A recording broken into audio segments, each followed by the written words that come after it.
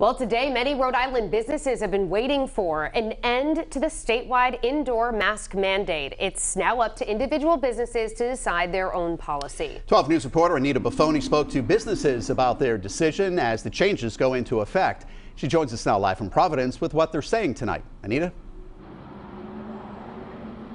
Well, Shannon and Mike, while the indoor mask mandate is being dropped for most indoor spaces, including businesses, you should still keep the mask handy now that businesses get to decide their own policy. And from what I've seen today, some are ready to ditch the masks and others say not so fast.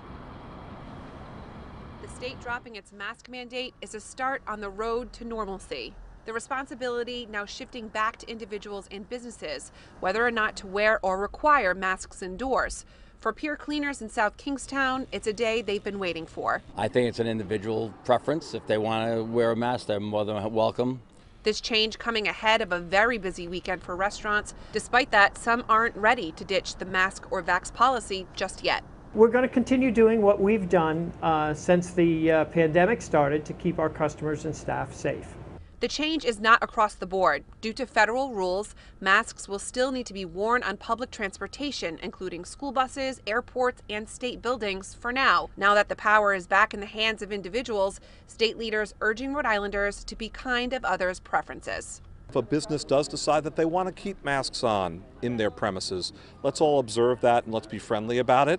And let's also uh, acknowledge and be respectful of anyone's individual decisions. Governor Dan McKee making this change as the state sees a steady decline in new cases and hospitalizations. I think that getting people out and, uh, and uh, interacting with one another, that's uh, really important.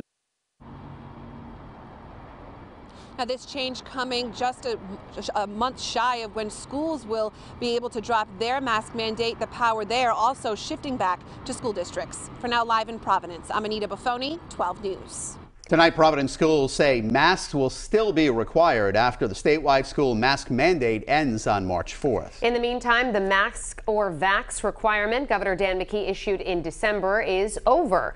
12 News reporter Anita Baffoni has been talking with people and businesses and joins us live from Providence with what she's seen today. Anita? Well, Shannon, it's been a mixed bag. I was in South Kingstown earlier today and Providence this afternoon. I've seen people in and out of businesses with and without face coverings. The bottom line, keep your mask handy because the decision is now in the hands of businesses whether they want to require masks or proof of vaccination. Some deciding to drop the mask or vax policy. Now it's whatever they want, they choose to do. And others aren't as quick to make the change. We all watched as Shaun White, within sight of the finish line, fell down and lost. We're not going to do that. It ain't over till it's over. Rhode Island joining a growing list of states dropping the statewide indoor mask mandate. So I think that you're going to see a general sense in our state uh, that uh, we've earned the spot that we're in today. There has been a steep decline in new cases in Rhode Island, the seven day average falling by nearly 90% since the start of the year. Hospitalizations, too, dropping by over 40%. Let's all be tolerant, let's all be nice, let's all accept what decisions people make. This change coming in time for a busy Valentine's Day and Super Bowl weekend, a request business coalitions made to the governor that was ultimately granted. Advocates say by dropping the masks, it will attract more customers.